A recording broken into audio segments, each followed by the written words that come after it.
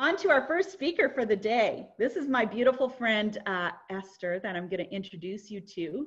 And I met Esther when I went to Rwanda last November.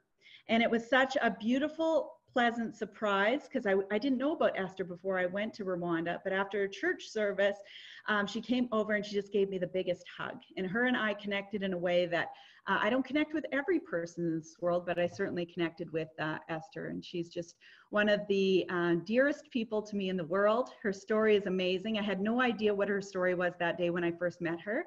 Um, I just gave her this big hug and had a conversation and learned about how inspiring uh, this young woman was. And it was later in the week that I visited her home and I got to hear her story and learn about her life. And so I'm going to let her share that um, with you. I'm going to make sure I unmute this. Can you unmute yourself, um, uh, Esther? Because I tried to un, oh yeah, you're good now. It's unmuted. So I'm gonna turn things over to Esther to share her story. And um, I'm just gonna, just one second, I just need to, okay. All right. So that should work, Esther, if you um, would like to start to share.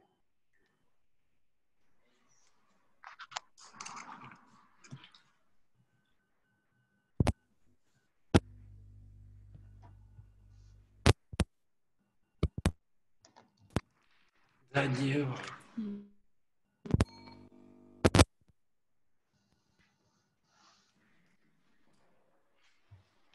Are you hearing me? I can hear you. Uh, yes, thank you so much for welcoming, for welcoming me. I'm really pleased to be with you right now. Um, by names of Esther Uwiringiyimana from Rwanda. And uh, I really like having this kind of opportunity to speak to such great people like you. I'll start by telling you who I am. Uh, I'm a girl from Rwanda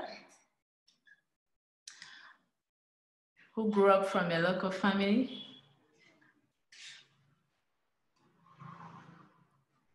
Actually, uh, I would like to start by telling you how I came to meet Shella.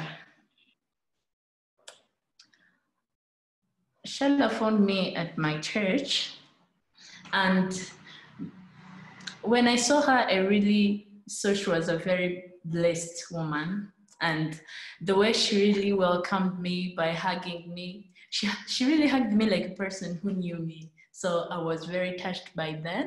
And like, I felt there is a very big connection between me and her, of which led us even further to this date. Uh, so as I begin to tell you about my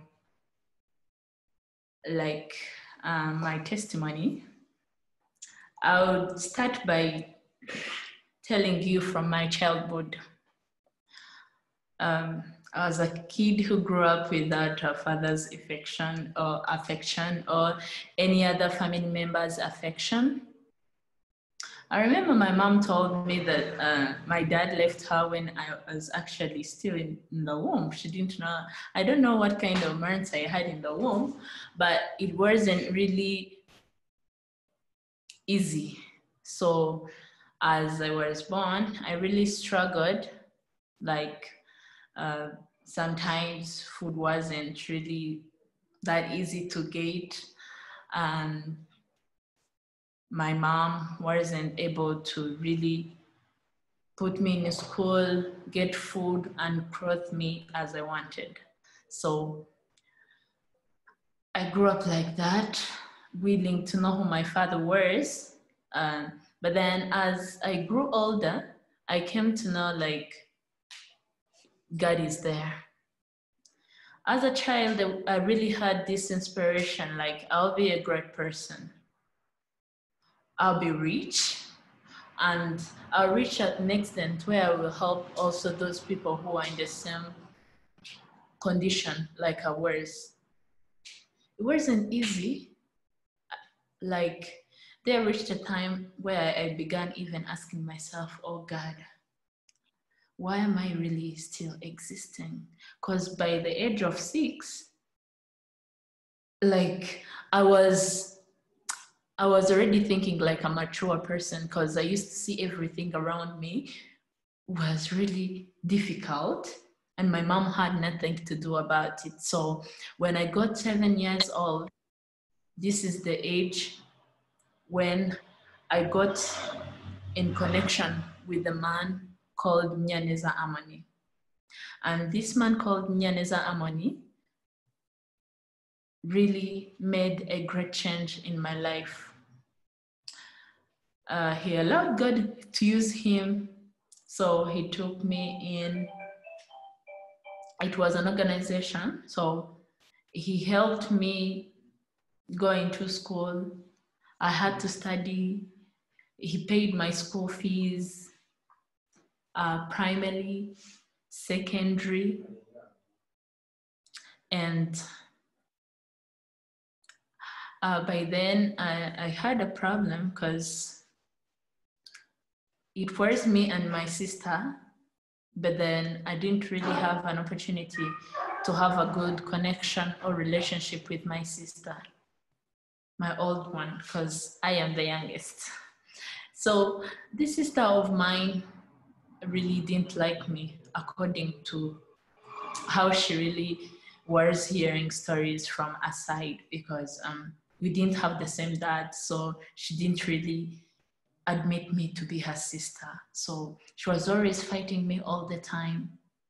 And as I grew up and I reached in senior two, I began having a mind, God, this is not who I want to be. And this kind of sister, she used to drink too much alcohol, and so she could come start disturbing us, disturb my mom, and it wasn't really nice and it wasn't really pleasing to me. I began begging to God, oh, please, God, help me. So when I reached in senior two, I began taking responsibilities. I was like, no matter how hard it is, I have to take it. So I could, when I used to get pocket money, I was given pocket money. So I used to get the pocket money and give it to my mom so as to to pay the rent and to eat because I was very sure that the school I'm going at they had to cook lunch and dinner.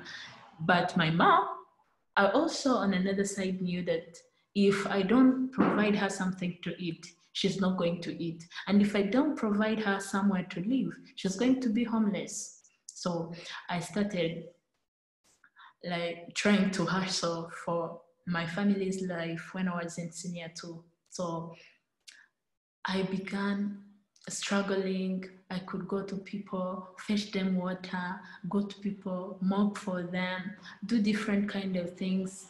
However small they gave me, I had to use it and help my family.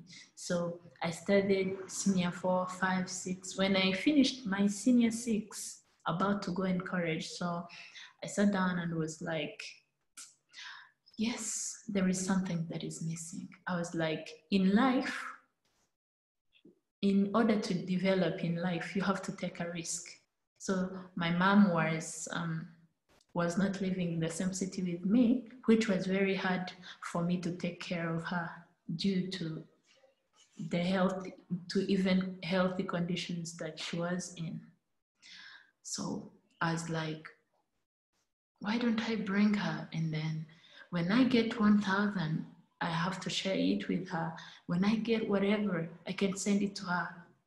And it's easier for me. So I was like, let me bring her in. So I brought my mom and brought my niece because my sister gave birth to a kid and I really had to take care of her because I had a calling like I was supposed to take care of the kid because she gave birth to others before and they didn't really have a chance to leave because of her carelessness and I had nothing to do with it because I was still young and unable to do anything. And I wasn't even available by then. So when I brought my parents to the same city that I am in, it wasn't really easy. I had to struggle. Uh, I made a lot of obstacles. I made a lot of disturbances, like men trying to tell me, ah, you're still stuck. Why don't you come in and then give you whatever you want? So I had a place to go to work to in town and I worked there, which was really helping me. But then once upon a time, my boss came and said, hey, you know what? If you don't give me what I need, ABCD. So the guy wanted to sleep with me, but I was like, no, this is not what I asked you for. I was like, God, if I'm supposed to go back to the level I was born from, if I'm supposed to really still live in the kind of life that I was born in, if I'm supposed to still live in a poor life like I was born in, let me continue living the same life, but not I going into such dirty games. So I was sent home and became jobless. I had no hope by then. I was really wondering because uh, you can also imagine like how you don't have a job, you have a family to take care of, you have to pay school fees, you have to pay others' house. If you don't pay others' house, they'll throw you out. I had to to provide food and also provide my mom's medicine and their niece too because they really needed this medicine. So by then it wasn't really easy for me. I was really struggling and struggling. But as the day came on, I really started seeing change because God always provided me a door. And I, I always used to see new opportunities, and I was now beginning to have a new hope. So I really, I really had the only thing that really helped me was I had to to have confidence on myself. I had confidence, extra confidence, and I had the belief that I am a great person and I'm going to even be a greater person, and that I am going to have whatever I want in this world, of which I didn't have to go running after people who needed to give me. I was like, God, I'm not going to really let myself down for people to pass on me so that I can get what I want. No, I'm going to have to work for it so that I can get it and I use it when it's out of my veins, not because somebody has told me to do something that he wants and then gives me the money because I knew if I pass through that way, it's not going to make me successful as I wanted. And then mm, there reached a time like I really felt, God, is this going to happen? So I began praying and praying. I was like, God, I've passed through many things because there reached a time I felt like I don't want to speak to anybody. I don't want to play to anybody. Like I really lost even my smile.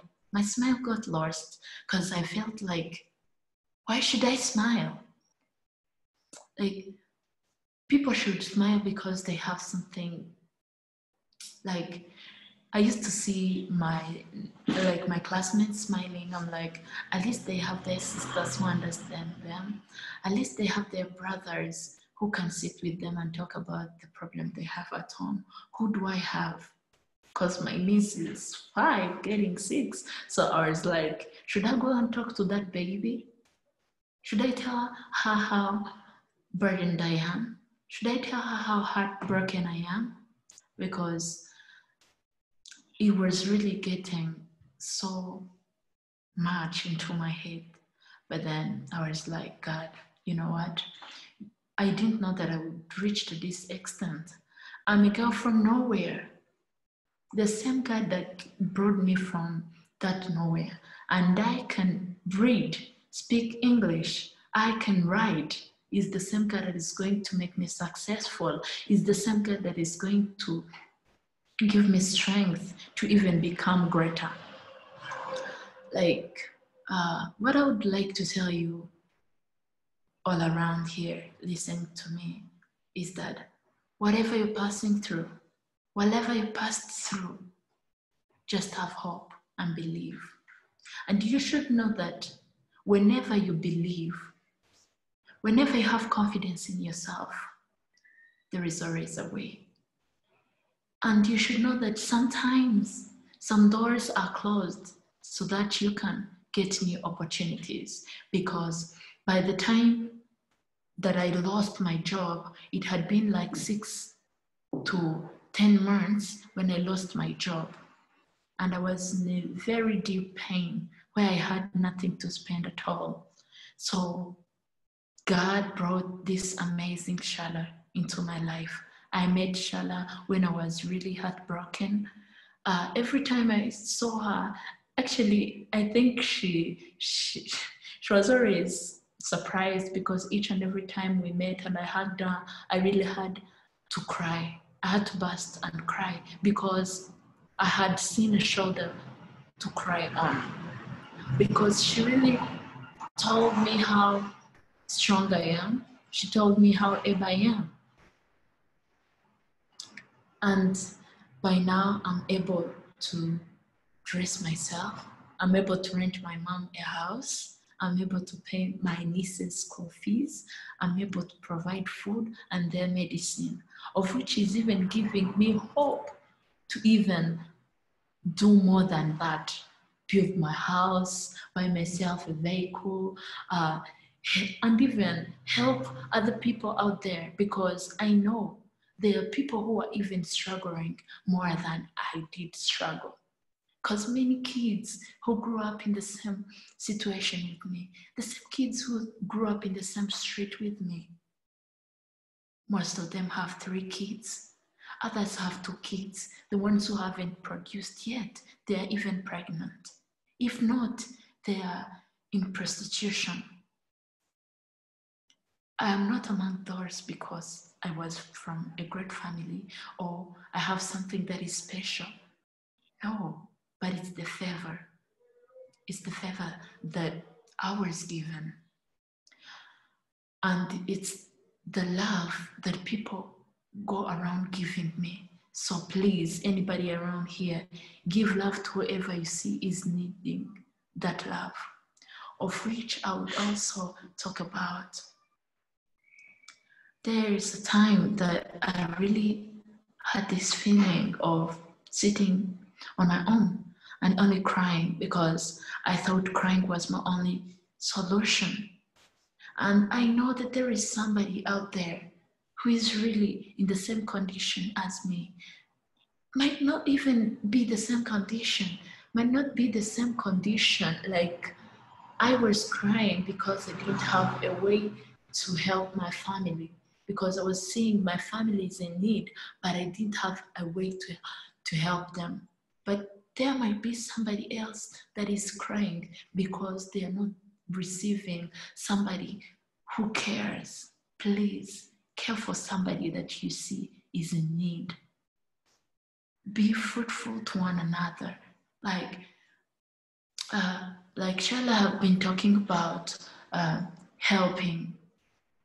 There are sometimes when you help somebody, you purse and then you find somebody is having a heavy thing and you help that person to carry the thing that was very hard or heavy for her or him. For you, you take it to be a very small thing, but that person will never forget you in your life. So, like, please leave a mark on somebody's heart. Leave a remembrance. Leave something that really will really shock somebody's heart and say like good people are out there. Because i know there are some people out there who really think that they are not good people anymore. Yet there are some people who are still good and really not them. And i really want to thank each one of you who is around here. I know most of you are helping me when you even don't know me. Thank you so much. It's really something big.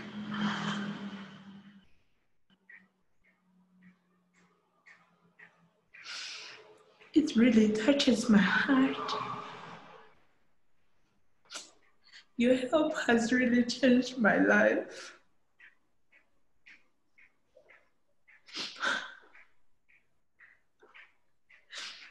Thank you.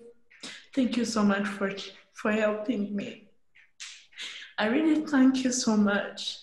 Shala, you really brought a smile back into my life.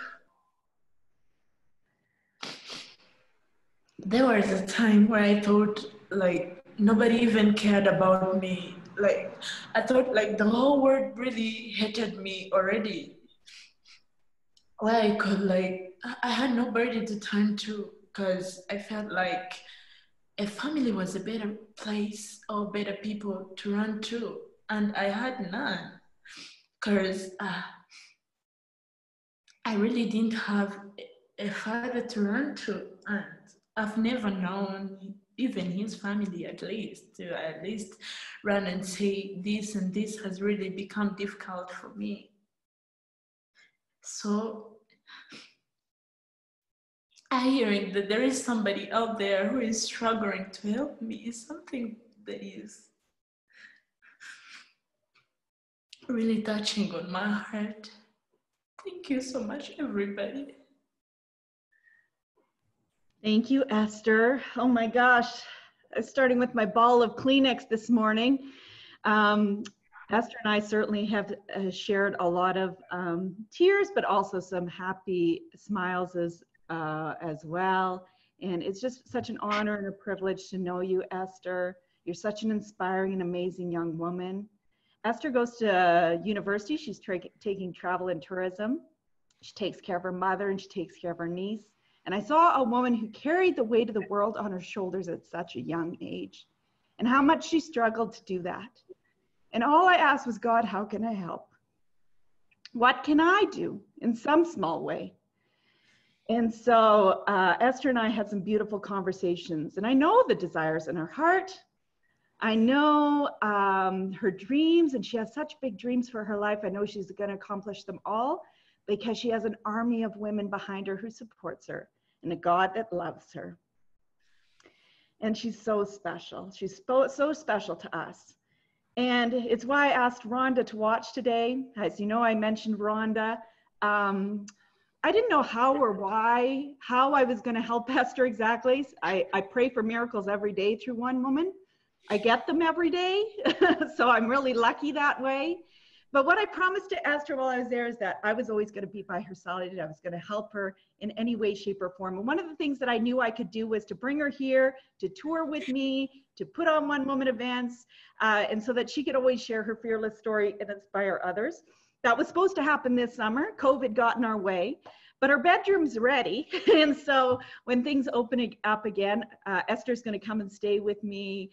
Uh, she's going to travel with me. She's going to see all of Canada. We're going to do some inspiring events together. Um, but I knew that financially there was a way we were going to be able to help her as well. And that was what I was on a mission for when I came back from um, Rwanda was to be able to help um, Esther. And so uh, that happened at the Jacksonville event. We are at the Florida events earlier this year. We started, but it was at the Jacksonville where, event where a miracle really happened. And I was telling the story of Esther. And that's what I love about these online events is that Esther can be on these and share her story. And then I can start including the women and girls that we help and empower in this world. And that you can hear their stories so that you're not just hearing them from me, that you're hearing from the actual women and the impact that one woman has had on their life because we, like I said, we want to empower every woman and girl in this world. And so Jacksonville, I watched a miracle happen. And thanks to Rhonda, who I talked about, who's putting on an amazing workshop and get to know Rhonda because she's one of the most amazing women I've ever met in my life. And she came up to me, I didn't know Rhonda. I'd only talked to her via email. And she said, I want to use my talk, Charla, to raise the funds to help Esther. And my goal was to raise $2,400 to pay for an internship through Seven Wells, our partner charity, to be able to give her job skills, to get things started so that she had something until she got to Canada to help me. And so that was the goal. And I literally watched Rhonda raise the money from those women in about four minutes. She put the call out, she was deliberate, she was determined, and it just flooded in and broke me so bad that I couldn't stop crying for probably an hour afterwards. But the generosity of the women in that room that day still humbles me. And so I watch God work miracles every single day through one woman. Things that I may not be able to do, I don't have a clue how to do them, but I just ask God, you know, and I leave it up to Him every day. And so um, I'm so thankful for that. And so I'm th- so thankful to each of you. And so Seven Wells is a really special organization to me. Um, I've gotten to know them very well, especially after I visited Rwanda and Uganda. I hope uh, some of you join me maybe in a year or two when things get a little uh, less crazy to be able to travel to, to see the work that they do. But we're working on a new project with them to empower more women like Esther and like a lot of the moms of the girls that we send to school who struggle. And uh, we found that the best way to do that is through agriculture programs and to be able to help women be able to grow um, vegetables, to be able to, you know, be able to sustain themselves because we believe in empowering women to help women to help themselves. And so we still, we do our um, individual girl sponsorships to go to school, but now we've moved on to also empowering women to be able to start their own businesses and to gain skills and to be able to grow these uh, vegetables and to be able to sustain themselves. And so that hopefully there'll come a day where they can just send their own girls to school and their own children to school and to be able to really um, do all the things that they dream of. And I think that's the most beautiful thing. So every event, we always have a call out, just like we did in Jacksonville uh, when we were able to help um, Esther. Today's event is all about helping those women. We're trying to help 100 ladies to be able to uh, empower their lives through agriculture. I'm going to post the link that if you want to help one of those women, it's an easy way to be able to do that monthly. And uh, I'm going to post that, that if you want to be a part of that, you certainly can. And look at everybody's crying, so that's good. I'm looking at the chat. It's okay. We can start off with a cry. And we're going to have lots of laughters and we're going to have some more tears throughout the day. And that's okay. That's the magic of one woman. So I'm going to post that link, but I'm also going to show you a wonderful performance by Esther. We knew that at the end of her talk, she probably wasn't going to be able to sing live. so we recorded it. So I'm going to share that screen. You're going to get to hear Esther's beautiful, beautiful um, voice. And I'm going to post the link that if you want to either empower a woman through uh, an agriculture project and helping her start her agriculture business. And I'm also going to uh, share the link that if you want to help a girl go to school. Maybe it's something that calls on your heart more than one or the other. I'm going to post both those links. And if you'd like to get involved, we would love you to do that. And then maybe come and join me sometime to be able to meet these women and girls yourself when it's safe to do so. So I'm just going to re-share my screen again. And so that you can watch this.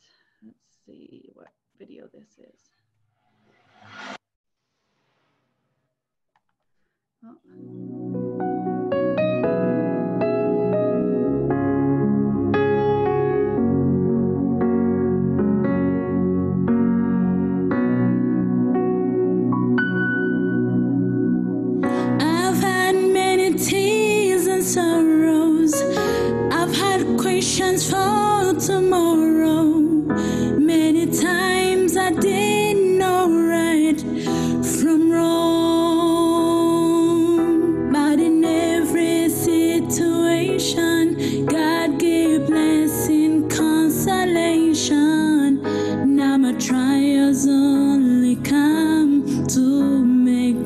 strong.